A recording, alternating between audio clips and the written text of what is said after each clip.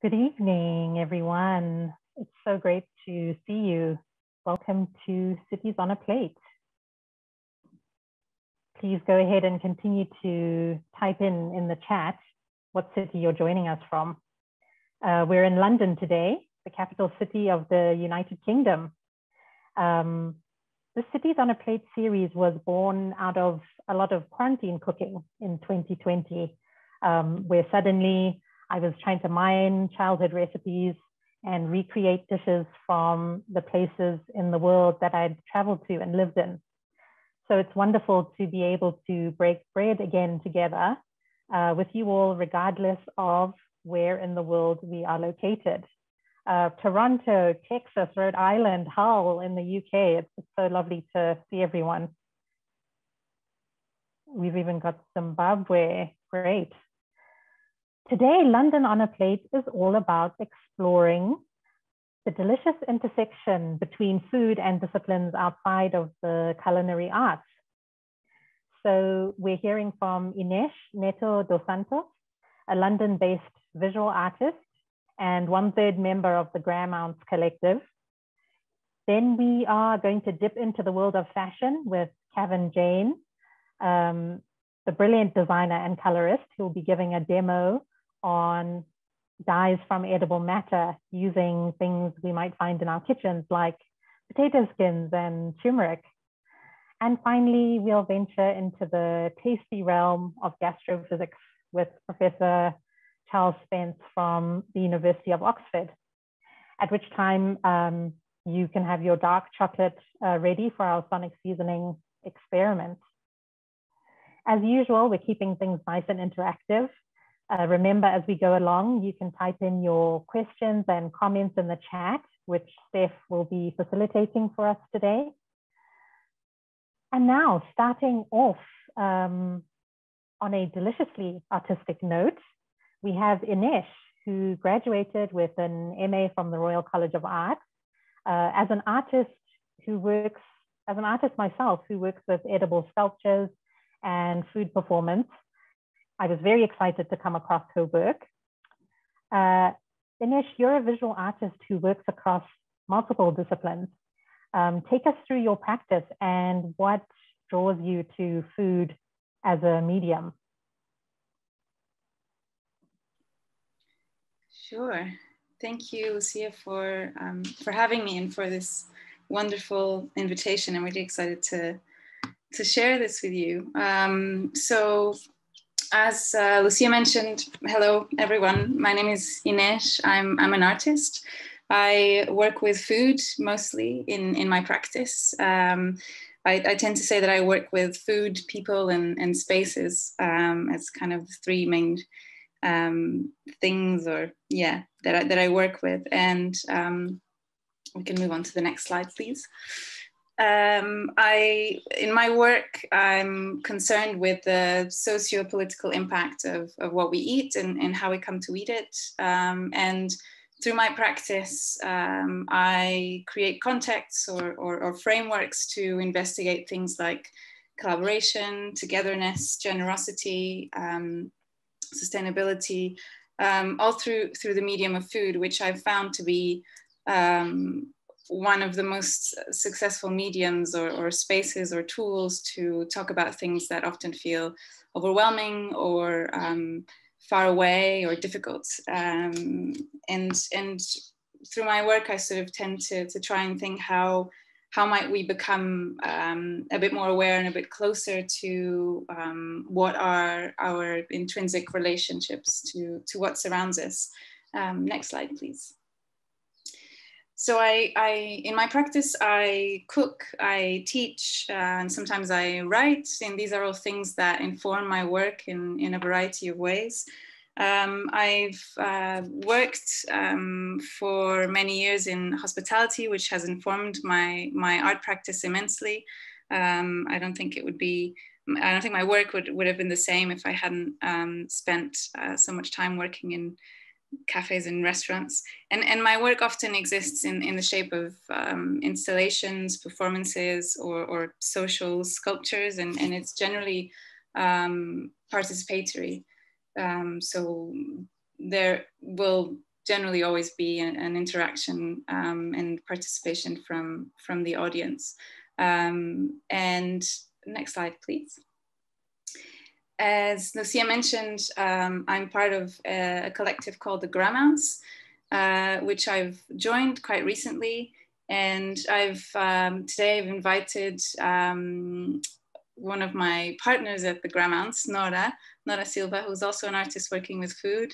Um, and I wanted to invite Nora to um, tell us a little bit about a few words about the Gramounce, um, as she is one of the founding members. Hi everyone, thank you so much for having me and having the, us as the Gramounce. Um, so the Gramounce is a collective, um, we call ourselves food-based uh, art research collective. So what we do is we investigate things through food. And um, we, we have sort of three uh, ramifications at the moment. We run a course. Currently, um, me and Ines are, are, are doing it actually at the moment. It's called Food Cosmogonies. And we teach about the world through food in a, in a number of different um, in a number of different ways and theories and philosophers, etc. Then we have um, our projects, which um, we develop um, uh, on different subjects or things we think are, are, are, urgent or interesting. And then we have a supper club um, where we usually work with artists to develop uh, tasting menus based on the work shown um, in an in an exhibition. So the, the aim of the of the supper club is to be able to make contemporary art more accessible for the for an audience um, through the means of being able to eat the show basically in, in a in a in a way.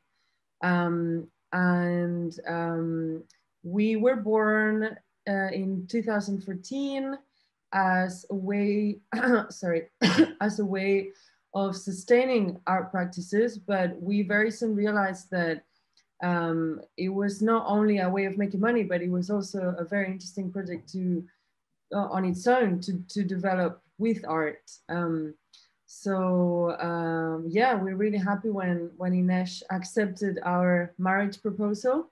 Um, so um, yeah, I think um, that's it. Is that is that good, Ines? Do you want to add anything? Thank you, Nora. No, that's perfect. Um, and I'm, I'm very excited that I've recently joined the Gramounce. Nora and I met when, when we were studying at RCA and we soon found out that we had lots in, in common, lots of interests in common, and we collaborated and worked together on many occasions. And, and so joining the Gramounce felt like a natural um, step. Mm-hmm. Thanks, Nora. Um, I love that aspect of um, I love that aspect of, of, of teaching in your practice um, and uh, one of your latest classes was, or your most recent classes, was about the potato as a migrant, right? One of the most adaptable migrants. Yeah. You want to go in a little bit into that?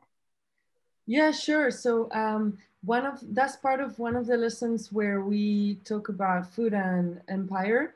So we talk about food and colonization and race. And um, as an example, we use the potato um, as a, a, vegetable that has its origins in the Andes in South America, but made it um, made it to Europe and to the rest of the world, and, and managed to be part of most European countries' national dishes, for example, um, after series of adaptations and um, yeah, and migration. So the potato has a particular, uh, particularly interesting story in terms of uh, borders and, and uh, migration and all those very current themes.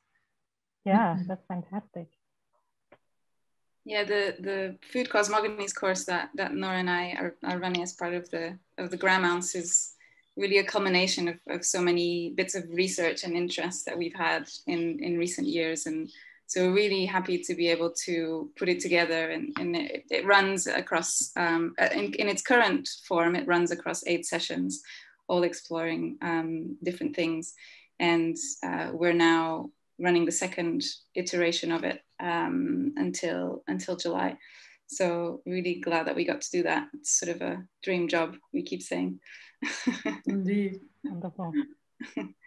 Thanks, Nora. Um, so from there, um, I guess I'll, I'll take you a little bit into um, my practice and, and the topics and projects I've been focusing on. And fermentation has been a really big part of, of my work in, in recent years. I started working with fermentation in a really practical way. I, I was sort of working with food and making installations and performances and sort of ending up with lots of um, extra material, aka leftovers.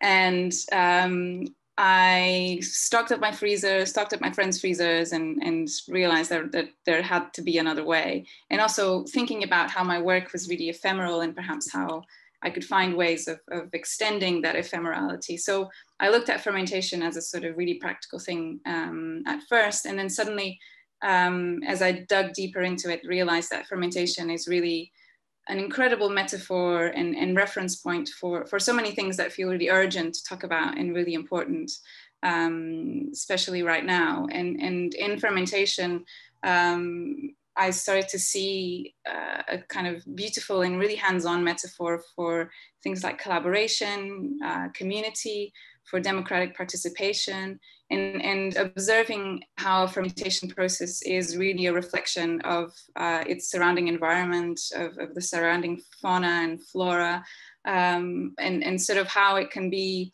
this gateway or this portal that can um, help us relate to what surrounds us, but also give us a wider understanding of how we are so enmeshed in in in our existence not as a dominant species but as a, a, a species that is is part of this really um, wide network of, of beings and of, of different uh, scales of living uh, and so fermentation has, has been a very um, kind of important pillar in my practice to talk about all of these all of these things um, Next slide, please. And so talking about collaboration um, as, as one of these important um, ideas that I, that I work with, um, I wanted to share a project that I've been involved in, um, which opened and started in 2019 called Tender Touches, which is um, an artist run, it was an artist run cafe slash exhibition that I curated with curator Huma Kabakci, who runs um, a platform called Open Space. Open Space is a platform that supports uh, emerging artists uh, and is sort of a nomadic um, arts platform, currently based in London, uh, sometimes in Istanbul. And so together we, I, came together with Huma and we um, created this um, exhibition which existed as a fully functioning cafe and everything in it was made by artists all the crockery uh, the cutlery uh, the furniture artworks on the walls and the, the primary idea was um, a little bit like what, what Nora mentioned was to try and find ways, uh, kind of access points into um, an art space, an exhibition space, and, and tr trying to consider and question what what does it mean to engage with art and, and, and who is allowed to do that or, or who feels comfortable to do that. And so suddenly um, we created this space of a, of a cafe where visitors could come in and sit down and, and we'd offer everyone uh, a cup of coffee uh, on the house to, to, to start off. And then there were, there, there was food available on the menu. Um, which uh, I made and created in response to all the artworks in, in the show and all the artists that were part of it through conversations with them. Um, and, and really it was a sort of way of, of, presenting this really familiar space of a cafe, of a restaurant, uh, and, and putting it into a gallery in, in order to, to sort of open up um, the space and, and the idea of an exhibition to perhaps um, audiences that might not engage with it generally. Um, next slide, please. We uh, ran a series of workshops and performances like dinners, supper clubs. Um, I ran a few fermentation workshops. And so visitors kind of came and went. Sometimes uh, we had a few regulars. This happened over the course of um, six weeks, if I remember correctly and so uh, the space became really lively and changed over the course of time with with its usage um, and in the end we sort of really questioned what um, what is an artwork and what does it mean if I can touch an artwork and and and you know put it in my mouth or or, or sit on it or, or lean on it or hold it in my hands um, so this was a really important project um, for me in my practice and probably one of the most ambitious ones that I've been involved in. And it was it was a culminating of, of so many things and, and so many strands of, of uh, thinking and research that I've been doing. So it was really exciting to be able to, to, to be there. I was, I was able to luckily be present in the space every day and cooking every day, meeting uh, visitors, which um, felt really special and, and really important. Um, next slide, please we have recently launched a book which is uh, which kind of came out of the exhibition um, and this book uh, sort of holds um, all of the or not all but a, a, few of the recipes that I came up uh, came up with for for the exhibition particularly recipes that were connected with the artists in the show so those recipes came out of conversations with the art with the other artists or um, uh, just observations of their work um, and kind of serve as, as, an, as a reading of those conversations or, or those artworks. And the book includes those recipes and includes also essays by um, a few of the artists that were part of the show. Um, it includes a dried um, kombucha SCOBY, which uh, anyone who gets the book gets gets one and, and gets to rehydrated to, to make their own kombucha um, and, and a few new artworks that were commissioned especially for the book. Uh, and the, the, book is available for sale on, on uh, the Open Space website. And I think that link will, will be shared um, yes. with you all sometime soon. Um, and I'm, I'm, I'm really excited that we got to make this book because it, it felt sort of like a coming together of, of many things that um, happened and came up during the exhibition uh, that we sort of didn't manage to fully communicate at the time, but were able to, to put together into the book. Um, next slide, please and so um, just to, to end my, my presentation, I'll tell you about another project that is, has been really important for me, um, which I uh, carried out in the Azores as part of a, an arts festival called Walk and Talk, which happens every year um, in the Azores. And, and, the Azores are a group of islands uh, in the Atlantic, which um, are part of Portugal, and they sit on the um, kind of connection or the, the meeting point of two tectonic plates. And so they, they're in this point in, in, in, uh, um, in the planet where it, it means that the, the, climate in these islands is really tropical and um, also they're volcanic islands. So there's this amazing um, energy being, being that you feel when you're in these islands and, and nature there is sort of incredible and big and sort of green, super green everywhere. And so I, I was invited to be, to be part of this um, festival uh, by a group called the Decorators who were curating a part of it. And they were working on um, a part of the festival called Expedition Empathy. Um, and the idea for Expedition Empathy was to um, kind of contrary to uh, many expeditions done um, on, in these islands in the 16th century, where the point was to um, make very um, specific, very science-led observations of landscape, very human-centric observations of landscape and recordings of landscape and, and species. Um, it was it was about sort of getting to know these these spaces and these places through um, other senses, through this idea of empathy, this idea of an approximation to to our surroundings that isn't necessary necessarily mathematical or, or measurable.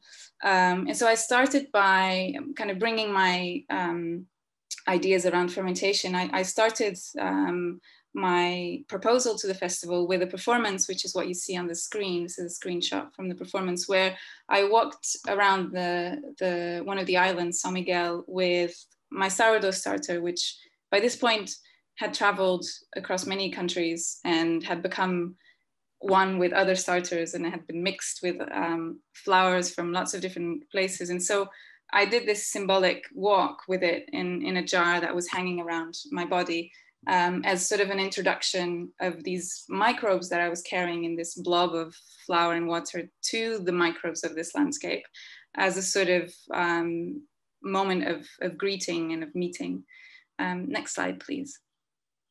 I spent a week uh, in the Azores, which felt really short, and I really want to go back because it's, a, it's an incredible uh, place. And so throughout this week, I met local people who um, took me foraging, uh, with whom I learned about this, this local technique of cooking underground. Uh, the Azores being, and, and São Miguel being a, a volcanic island, the ground uh, has this amazing um, capacity uh, for, for, well, it is, is hot, is really hot. And so there's this tradition of um, digging holes in the ground and cooking, um, usually a sort of really big pot of a layered meaty stew with vegetables. Um, and so I was trying to sort of think about collaborations with this with this island, with all of these other species of, from the tiniest microbe to the tallest tree.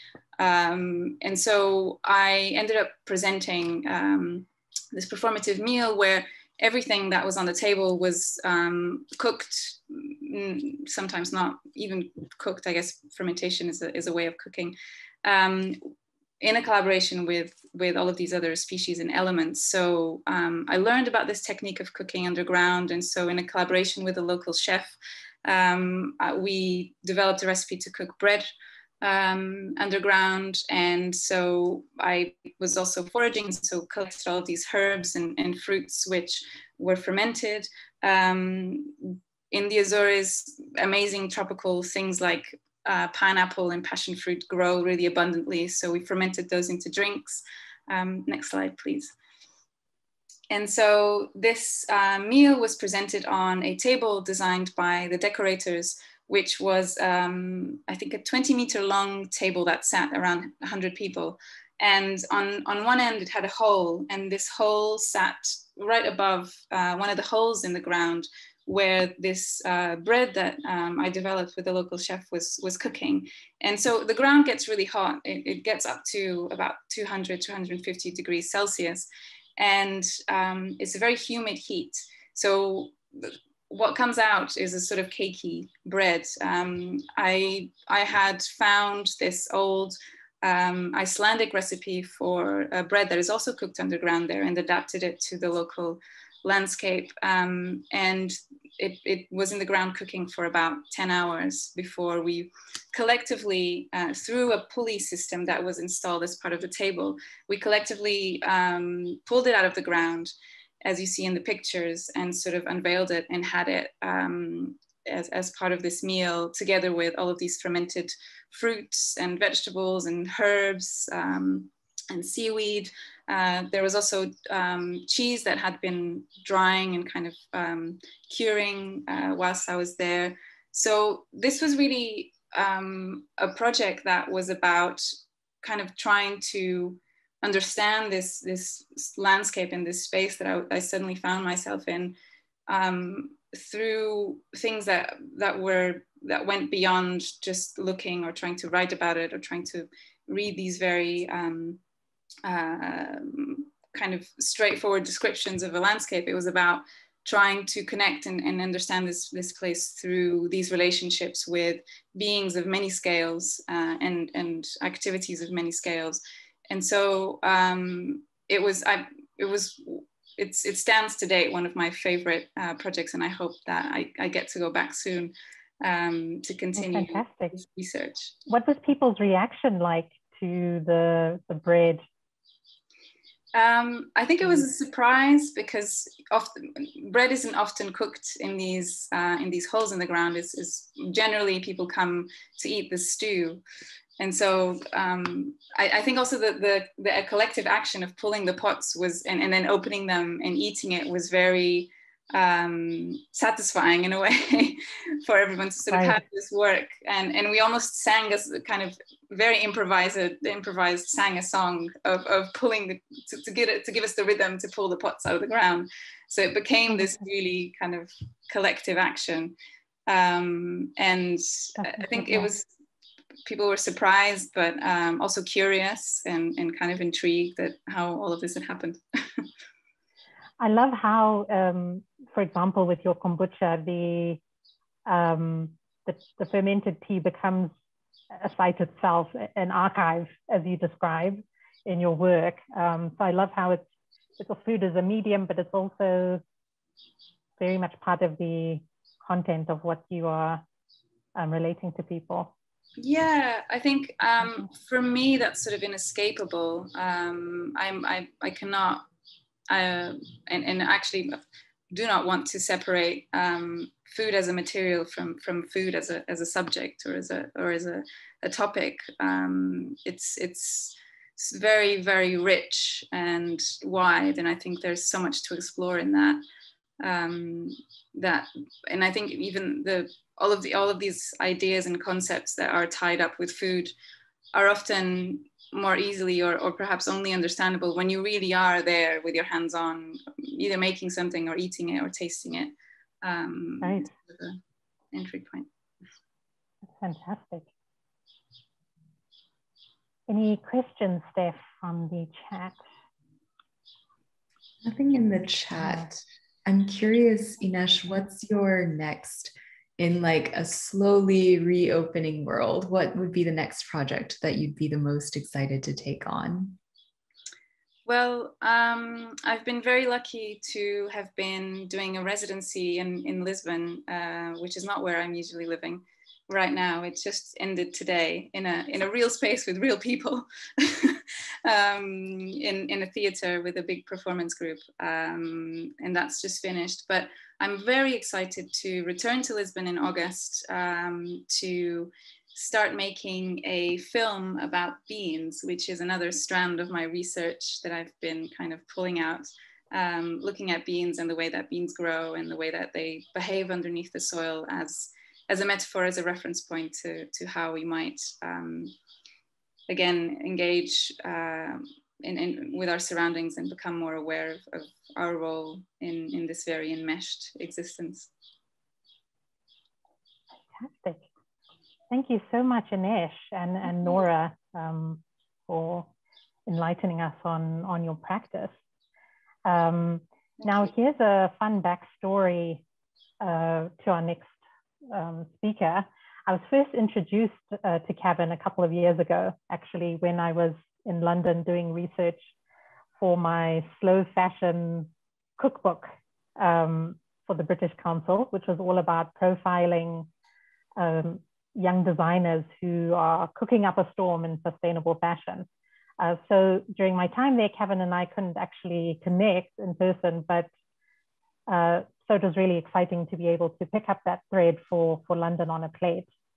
Um, Cavan Jayne is both a designer and a colorist. She graduated with a master's degree in women's wear knit from the Royal College of Art. Um, you may have even seen her stunning collection at the London Fashion Week designer showrooms in 2018. Um, so to start off with, Cavan, tell us a bit about your journey with color. Yeah, yeah, of course. Um, yeah, thank you for having me. Um, so yeah, like um, I also went to Royal College of Art, and that's where my kind of introduction or my investigation into natural colour began. Um, studying fashion, um, primarily it was about you know design, design of the garments. Um, but for me, I was really interested in um, kind of earth conscious design and fashion. And especially um, you know within that is you know transparency of the, the supply chain. So i kind of started my investigation at the time into um, the origin of fiber. So i was looking at um, you know the um, mainly cotton, you know, the fields where they were grown, who were growing, you know, the buds, what pesticides were used, every single detail of, um, you know, the growth of that fibre. So once I managed to kind of pin down um, fully transparent and ethical sources for my fibres that I was using, I realised that you know it was a bit contradictory to base my practice around transparency and origin when I didn't really know the origin of the colours that I was applying to the textiles. So that's really was the start of my kind of investigation into natural colour. Um, I suppose uh, natural colour comes in a lot of different um, forms. So at the moment, we've seen a kind of um, kind of big, big rise in bacterial colour. So um, either genetically modified or not, but growing colour in labs. Um, then we've got kind of the most primitive forms of colour, which kind of go from mineral, uh, mineral colour to um, you know plant uh, plant-based colour and also um, food. So yeah, I'm gonna. I'm, I mean, I could go on forever about the different kind of forms of color, but I'm gonna obviously base my demo today on um, right. kind of edible color. And um, what are you yeah, I, I us today? Yeah. yeah, so I'll jump. I think I'll jump straight in with um, with the demo because it's I want to be really practical and just kind of explain um, working with natural colour is very different to working with synthetic. There's a lot of different processes. You need to prepare the fibre to take in the dye. So that usually means it's a kind of extra step and it's called mordanting. So at the moment I have um, different fibres. So different fibres kind of react and work um, differently with all different plant matter. And that's because you get cellulose fibers, which are kind of plant based. So that would be like cotton, linen, hemp, uh, viscose, and then you get protein fibers. So that would be kind of animal derived. So silk, um, wool. So you have to treat them quite differently. Um, so usually how I would prepare the fabric is by mordanting. Um, so that's really you kind of simmer simmer your fabric in a solution for six, up to 60 minutes to kind of usually overnight I would leave them. And primarily I would use alum, so potassium alum. Um, it's not edible as far as I know. I know that it is in um, kind of deodorant and a few different kind of cosmetics, but I probably wouldn't recommend um, eating it, but you do get edible um, mordants such as um, soy milk. So soy milk is really, really great on cellulose fibers because it's um, instead of a mordant, it's more of a binder. So it will kind of teach the, the fibers to act more like protein fibers because protein fibers and natural dye are kind of a match made in heaven. They work really, really well together. So soy milk is great. And also um, rhubarb leaves. Um, rhubarb leaves, I believe, are not edible. Um, but you can. Don't eat no, no, no. Um, but they are a kind of um, a natural plant-based way of mordanting fabric. Um, and then also some dye stuff you don't need to mordant at all. And that's what I'm kind of going to base a lot of my demo on today. So the, the three colours that I'm going to, to show you do not need um, the fabric to be pre-mordanted. Um, so I'm going to start.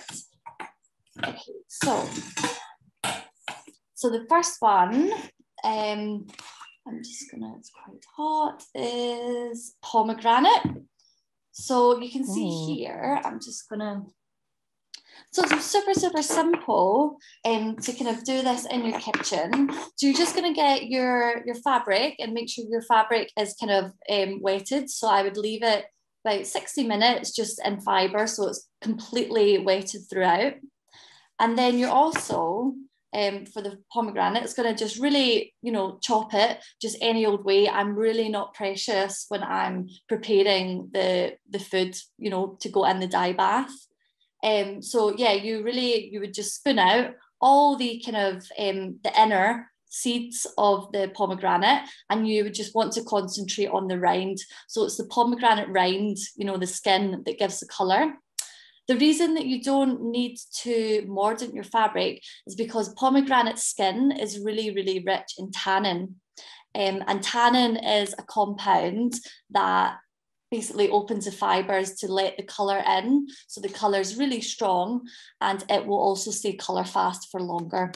So it's like a nature's great way of allowing color to, to fix on. So you can see here, that I've had these skins in this kind of dye bath for about 60 minutes. You can dry them out and kind of use them whenever you want. You don't have to use them fresh. Um, I just use these fresh and they've been about, they've actually been about two hours in the dye bath. And you can see straight away that I've kind of left a little bit of fabric in for the past two hours just to see how strong the colour can go. So you can see that's a really lovely oh, wow. um, yellow. So, and that's without any um, assists. So I'll talk about assists in a little minute. Um, that's really just a kind of um, dyer's language for adding different solutions that can change the colour and tone um, of of the dye pot. So that's the really exciting, it's probably the, the part of natural dye that I am most excited about um, is you're able to actually shift uh, the colour of the dye bath by changing the pH. And I'm going to go into a bit more detail about that in a second. So this one that you can see um, is avocado seeds. Now that I'm just holding is a, a full avocado seed. I don't chop it. I don't usually even rinse it. I just chuck it in with water, bring it to the boil and simmer for about 60 minutes. This is about two hours. So the longer that you simmer, um, you know, the more color will be extracted from, from the seed.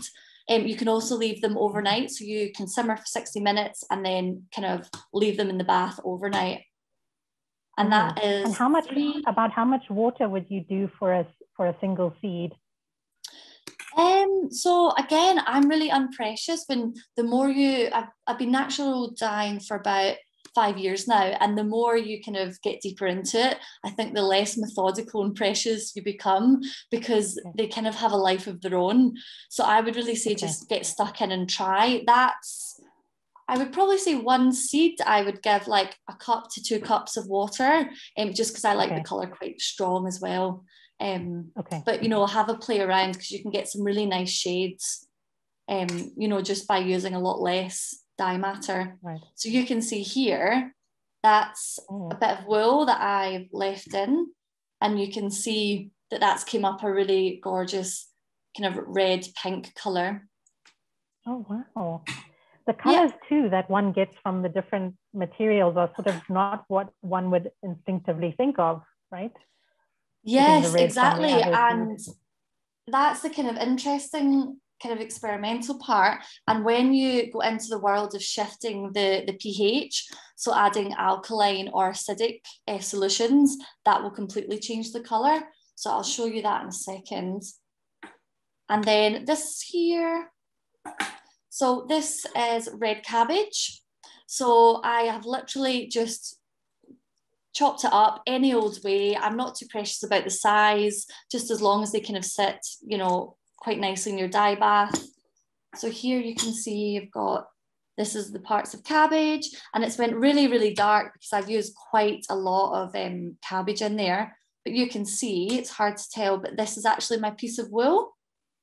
So you can see oh. how dark that has actually become. And you can't really oh, see wow. too well, but it's a really deep aubergine kind of colour. Okay. And, and also, so that's a purple cabbage if if one uses a regular oh not a regular cabbage but a sort of green and white one do you get any sort of color from that or no no you won't get any color extraction from a white cabbage no unfortunately not you can use however um it's quite an interesting comparison uh, a red onion and a white onion because you will actually get colour from both. So I'm not going to show you in a demo how to do it, but it's very self-explanatory. The same method as the other dyes, but you just use the skin. Um, so with food matter, it's mainly the, the skins or this, the inner seed that will give the most colour. So with onion, you get like a nice kind of um, dark brown, almost lilac with the, the red onion skin. And then the white onion, you'll get like a nice beige brown with that as well. So, so now I'm just going to show you quickly how you can um, change the shade of the dye stuff by shifting the pH. And I'm going to do that okay. with um, vinegar and lemon. So they're the obviously acidic solutions. And then I've got, um, I usually use iron, which is um, ferrous sulfate, which uh, is not edible, but you can use things like bicarbonate of soda um, kind of in, in its um, position. So, so I've got some bicarbonate soda, literally just mixed it with some hot water and then some vinegar. And is it again just a couple of teaspoons for all of us yes. novices starting out? yeah, exactly. yeah, I mean, measurements.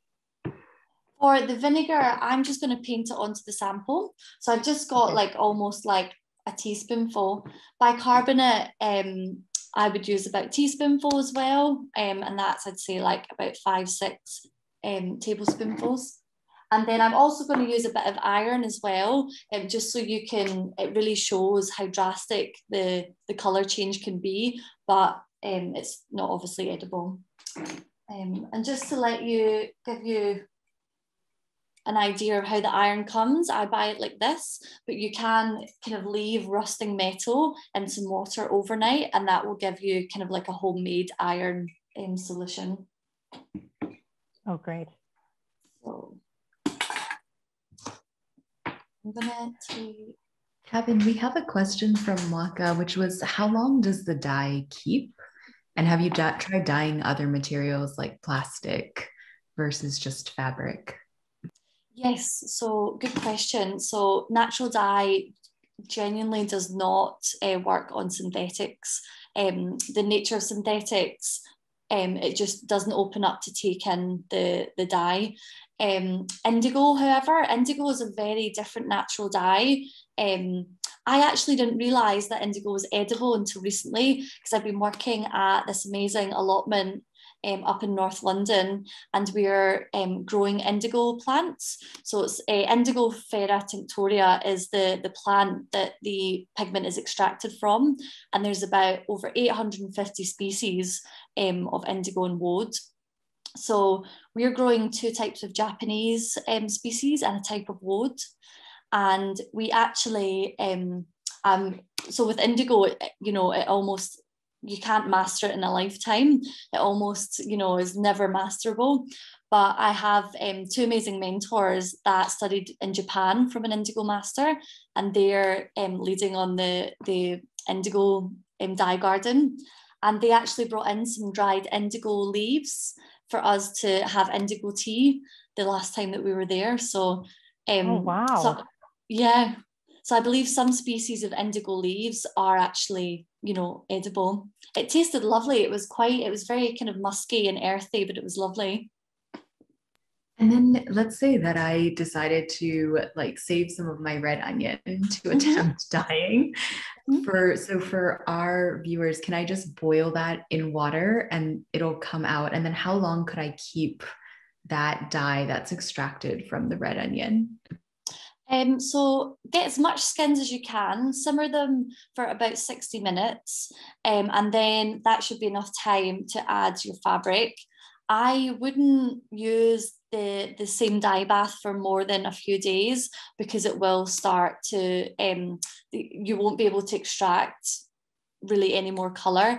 And the more fabric that you color from it that'll soak up the pigments.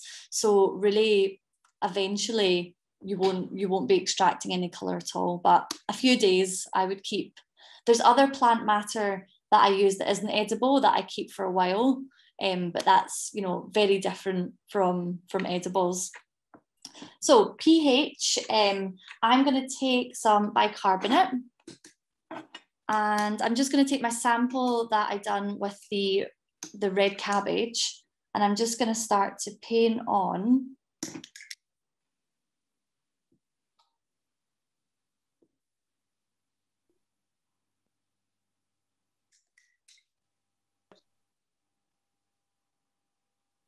Ah, okay, so you can see here that there's not really been any change at the moment. So then I'm going to take some vinegar. And I'm going to apply the vinegar in the middle. And you can see that really the vinegar is also not shifting this at all. And then I'm also going to take some lemon to try lemon. So I use this as kind of a, an investigation um, journey. It's really interesting to see what food will actually shift with pH and what food won't. And I'm just going to put the lemon straight on like this. And actually, you can create um, a print with this method as well. So you can see now that the lemon is really the only one that has changed it. I don't know if you can see that well, but it's actually now starting to turn pink. Oh, yes.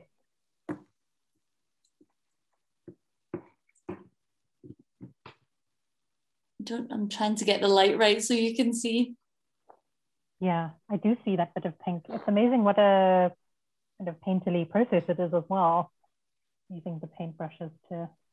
And I'll leave it to oxidize because the more that the oxygen is allowed into the fibers, the more that the color will become a bit clearer. Okay, and then I'm gonna get my other sample of the avocado seed.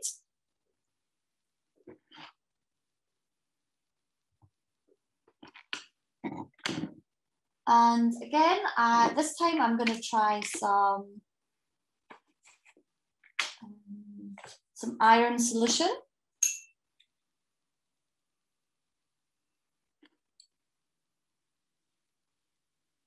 And I'm just going to Oh. run the iron solution over. And you can see already that that's becoming almost the dark aubergine that we got from the red cabbage. Right. So that one you can see a bit better with the lighting, but it goes a lot, lot, you know, the color shifts to um, to an alkaline solution. You can also, um, you can get these actually in pharmacies. They're little papers where you can test the, the pH. So if you're, you kind of are more interested in knowing the pH of each solution um, in order to what, what to add to make it a color that you might want it to go, you can kind of monitor. I wouldn't say it's very predictable or accurate because with natural dyes it's always a bit of a gamble. But you know these are great if you want to do a kind of log of of ph so you can see there it just continues to get darker. So if you were to add um, kind of iron solution to a, a bath of avocado seed you would then have the whole cloth in this dark aubergine color so it's really interesting how with one dye stuff, you can get a whole shade of, of colors. Right. How has the in the in the time that you've been working with natural color, how has the perception of natural color evolved through your? Um, I know you um, do a lot of workshops. Yeah, so I done one um, for Nike last year, and that was great because Nike um, are obviously a huge um, fashion brand, sports brand. So it was really great for them to, you know, take interest to educate themselves and their staff um, on on natural dye. But there are, you know, natural dye is, is the most primitive way of of adding color to textiles. So in India, because of the the climate, they have lots of natural dye houses over there that can do quite high production volume, just because um, you know they can grow a lot of dye plants there. Um, Italy are now, um, I kind of consult for one mill over there that are um, 100% natural dye process. And I'm now going to be working on some projects coming up this year um, to introduce that into dye houses in, in the UK as well. So, so hopefully Fantastic. we'll be able to do it here.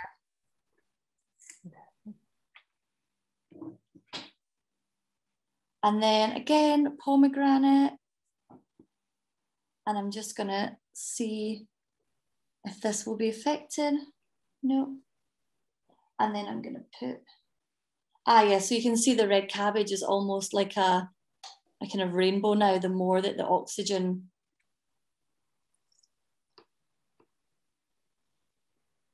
It's also great to do if you have kids and um, these kind of exercises because it really, you know, it just lets them opens their eyes to the origin of color. And then vinegar, I'm going to try on the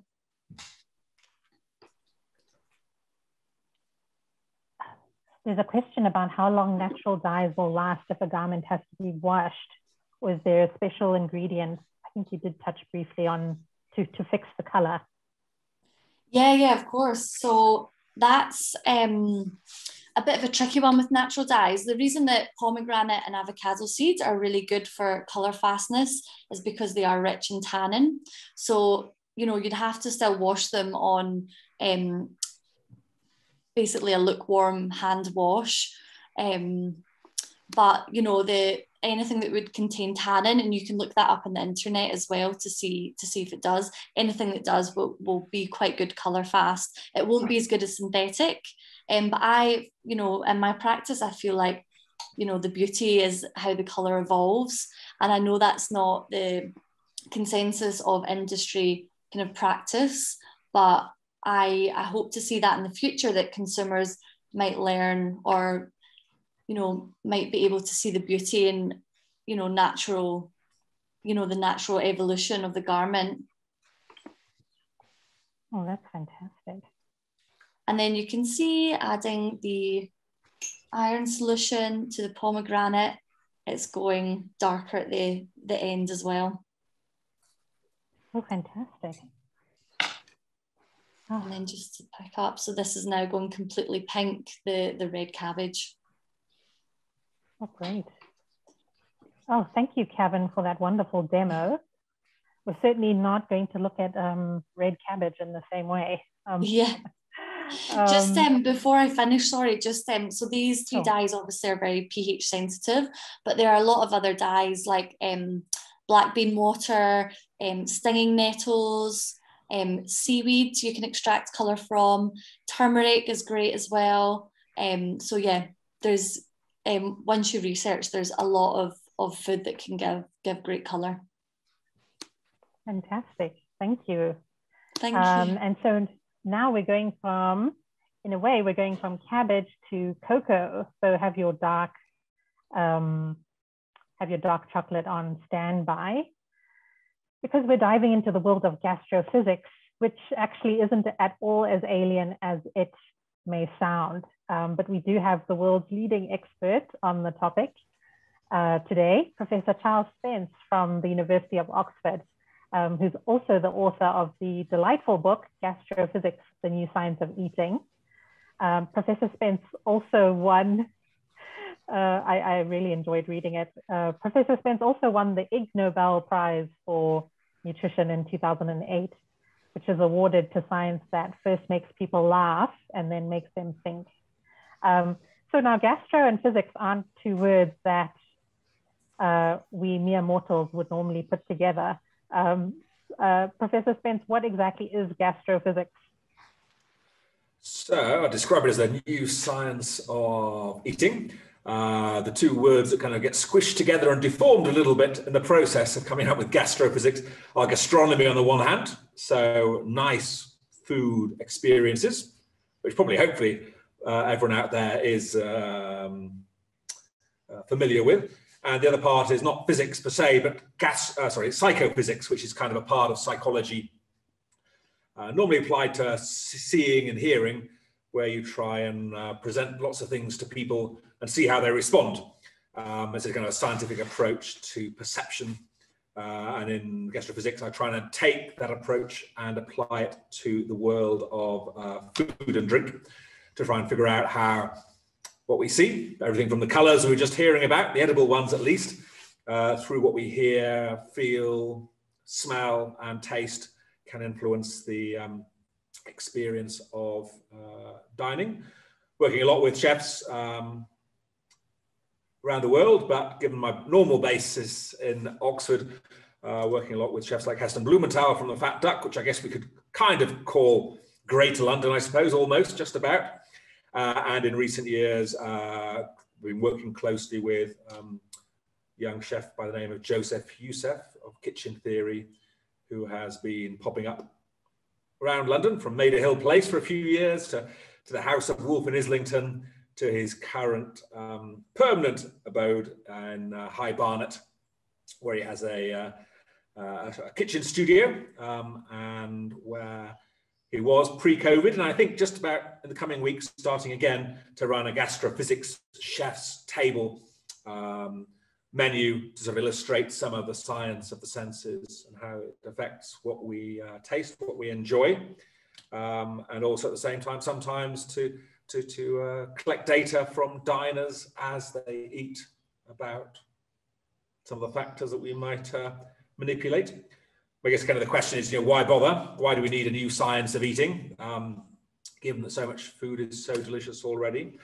Uh, and for me, I, I, sort of think that we've had, you know, two decades or so of, of molecular gastronomy, of modernist cuisine, um, all science in the kitchen, the science of spumes and foams and gels and rotovaps and anti-griddles, the science, you know, of, of ingredients and of cooking techniques uh, but no one's really been applying the science of psychology, but also anthropology and uh, behavioral economics to, to the dining room and to the mind of the person who's doing the tasting.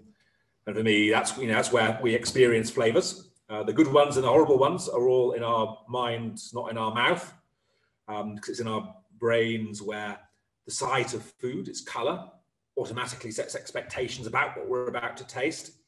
Uh, the sounds that we hear affect us, the chair we're sitting on, kind of all the senses, both in the food and the environment, uh, come together for the first time in our brains, along with our mood and our emotions, our levels of stress because of COVID and so on.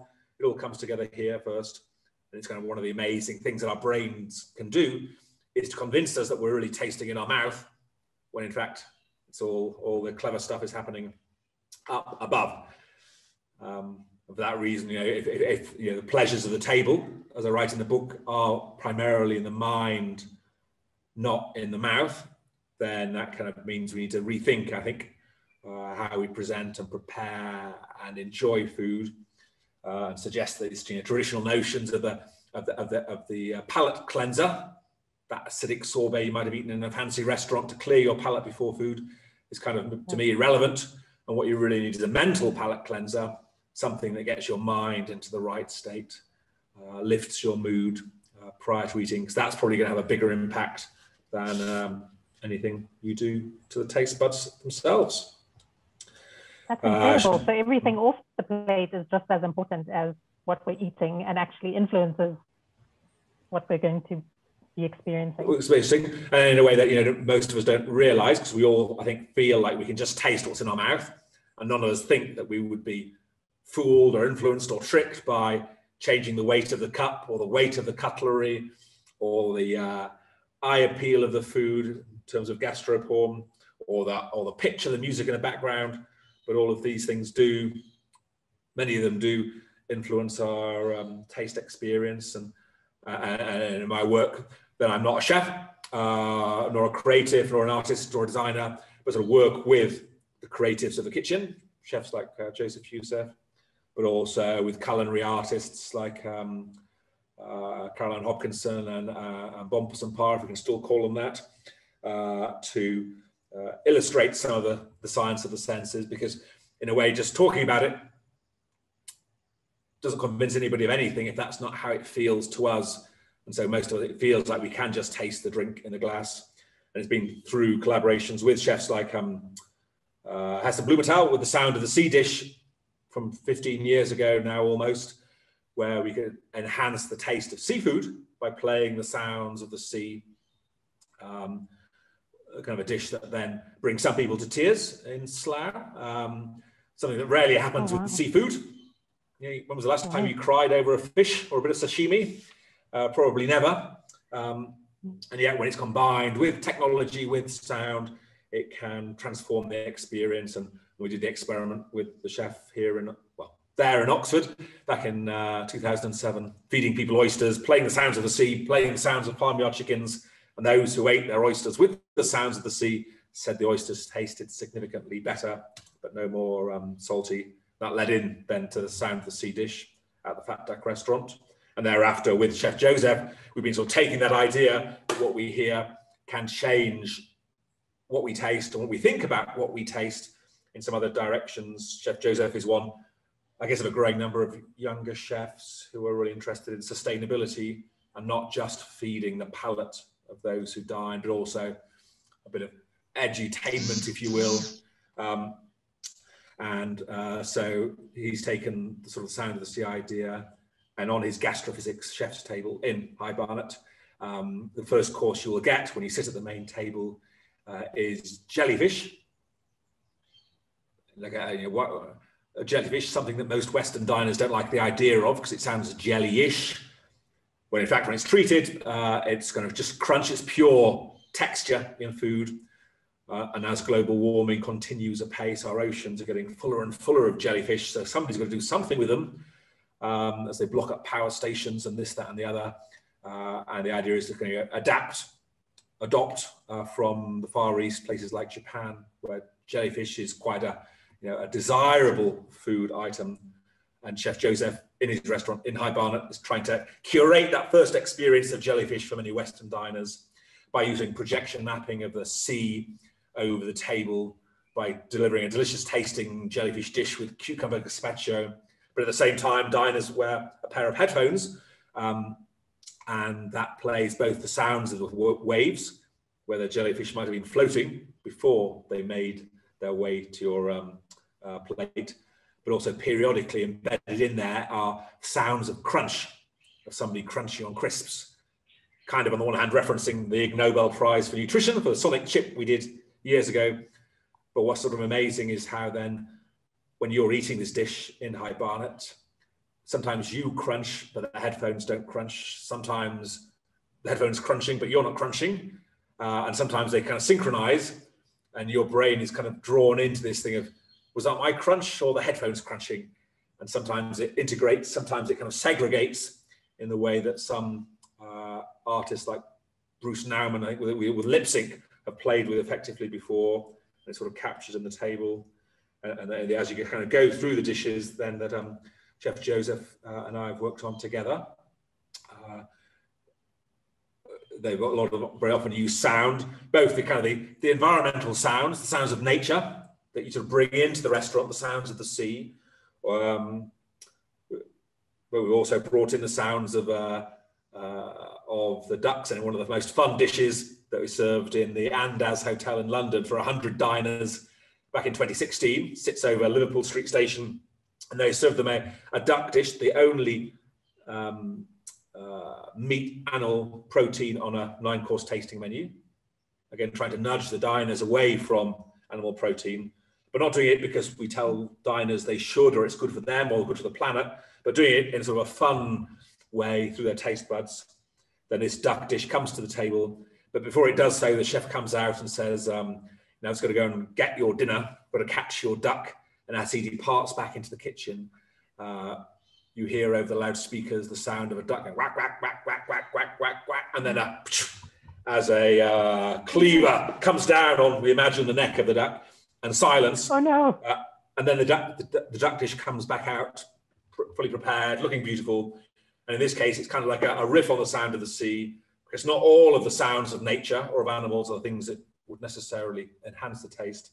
But that's kind of the point to have diners kind of giggling a bit, sort of uncomfortable but the chef's point there is, you know, you know, if you don't want to know where your animal protein came from, why are you eating it?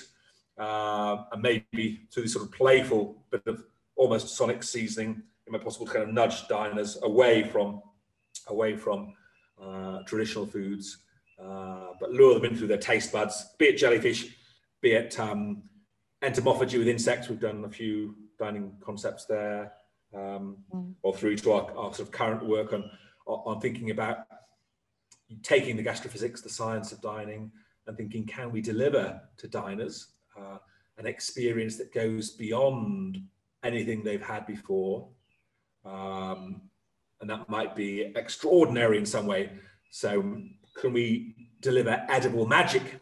Is one of our current themes in the restaurant. Um, and the chef has this wonderful dish of, of, of light bulbs that you can illuminate and then he can drop the light bulbs on the table. They smash the glass everywhere, and then he encourages you to eat that glass, which is really just spun sugar, um, and uh, that's kind of magical.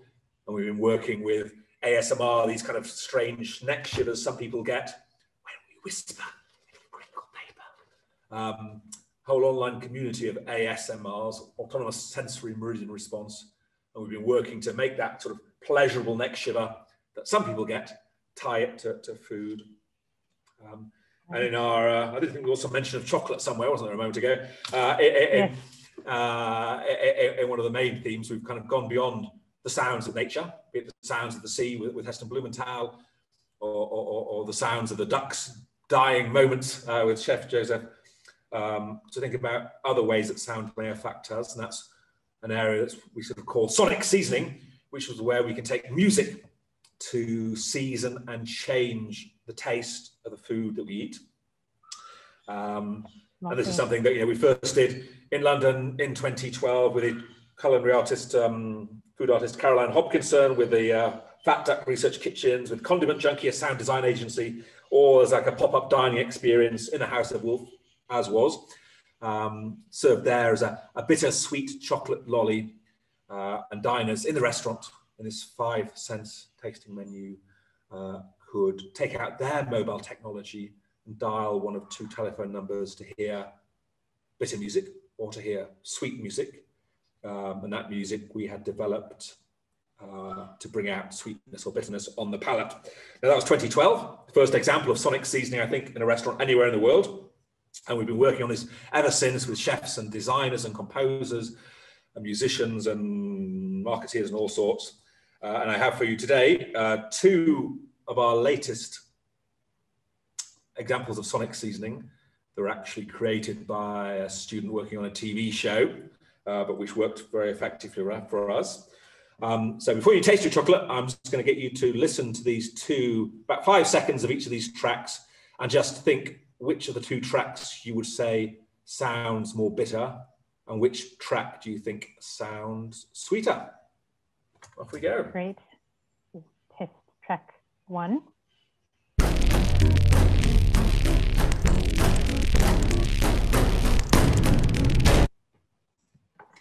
Is track two.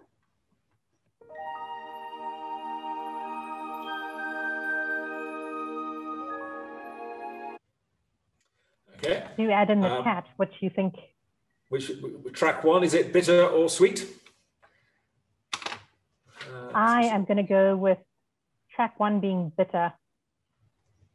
Now, the, there are no right or wrong answers here because tastes don't literally have a sound, and yet there is a consensual answer that that, that the majority of people may agree upon.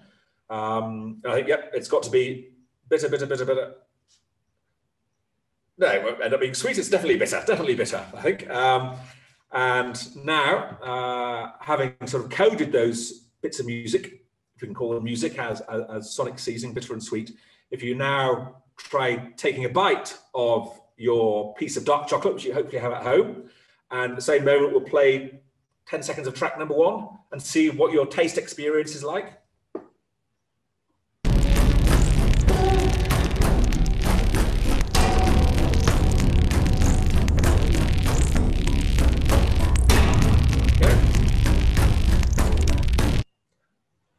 Uh, and now see if the taste experience changes with track two.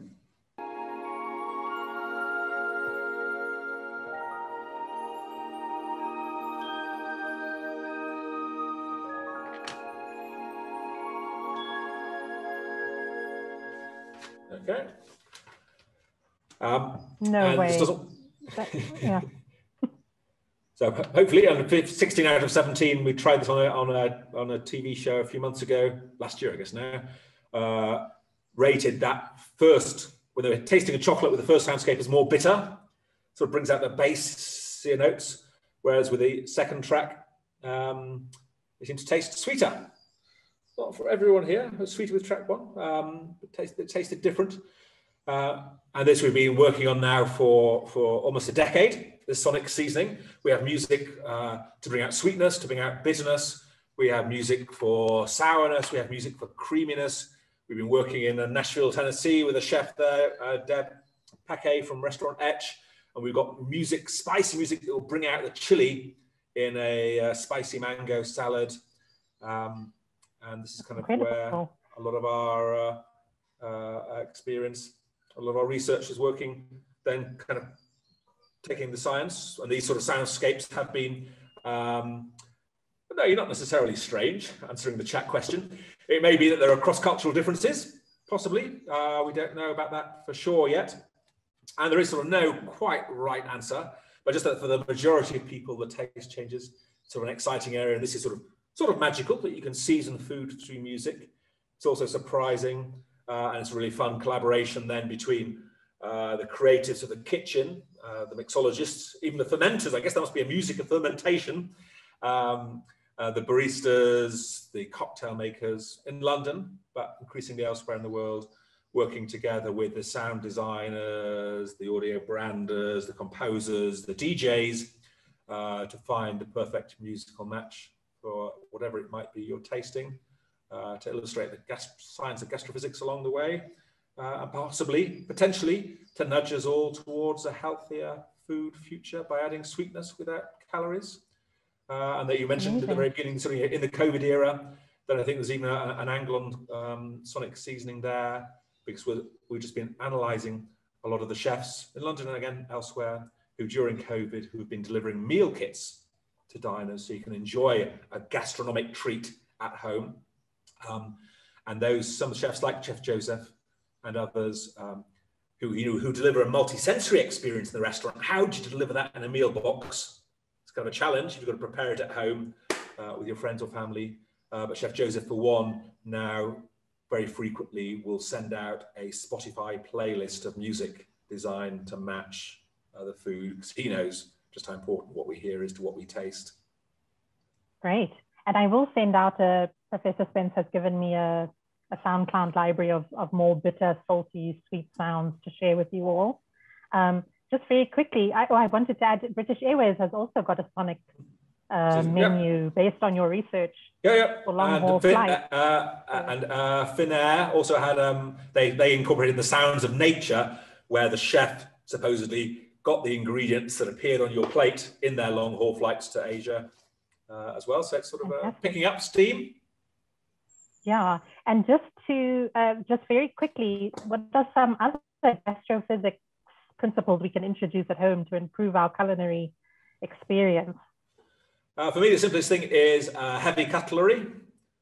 Uh, that just makes things taste better, more expensive. That's very pretty uh, easy. Um, and a very simple thing is a lot of our recent research from um, food festivals and expos around the world has been looking at the more you like the music you listen to, then the more you'll like whatever you're tasting as well. So perhaps one of the simplest things to do to improve the taste of the food is to make sure that you you like the music that you put on at meal times. Fantastic. And and just one very last question that I know everyone is um, dying to know: Does a Bloody Mary really taste better on an airplane? Absolutely. Um, so uh, strange but true that there is a quarter of the population who fly who uh, will order a Bloody Mary or tomato juice in the air, but never think of ordering one on the ground. That's kind of strange. Why would we people do that? Um, and it turns out that in airplanes, the noise of the engines is about 80 to 85 decibels. Um, and that noise suppresses our ability to taste sweetness and saltiness in food in the air, which is why the airlines have to put you know 30% more salt into the dishes to make them taste normal to your eye. But what that airline noise also does is actually enhances the taste of umami, the mysterious uh, proteinaceous fifth taste. Um, and it is uh, umami that is a key component of tomatoes, explaining why they're not in a fruit salad, um, and also of Worcester sauce, which goes into your sort of perfect Bloody Mary. So it's almost as if people are self-medicating when they fly by choosing a drink, a Bloody Mary that has a double umami hit that will stand up to the noise uh, of flight and taste better there than it does on the ground. Perhaps explaining why so many of us order it there and nowhere else. Strange but true. Fantastic. That's fantastic. And um, to find out what, what wine pairing works best on the airplane, you'll have to actually get Professor Spence's book and, and read it because he has, he has given us a wine pairing in there. Um, yeah, thank you so much for that. Um, I, I'm, I'm sort of dreaming at the moment of, I guess, a cafe, um, a restaurant um, run by Ines uh, with, with um, you know, fabrics done by Cavan and, and sonic seasoning and other gastrophysics principles um, uh, involved from Professor Spence. Uh, thank you so much to, to you all for the generous gift of your time and expertise today. Um, a very big thank you to Steph, Nana, and, and Simeon behind the scenes. Uh, biggest thanks of the night to all of you all for tuning in. Um, we'll be back not in June, but in July uh, for Cape Town on a Plate. We're going to the mother city. And we'll also be celebrating one year of Cities on a Plate. So check your email, spam, promotions tab um, by Wednesday for an exclusive invite to Cape Town. And keep up with us on social media. Um, in that newsletter, I'll also send out all these uh, great links of ways we can keep connecting with Ines, Cavan, and keep up with Professor Spence's um, uh, work and, and, read his book. Um, so keep safe and uh, take care of yourselves, and we'll see you on July 25th. Thank you, everyone. Bye.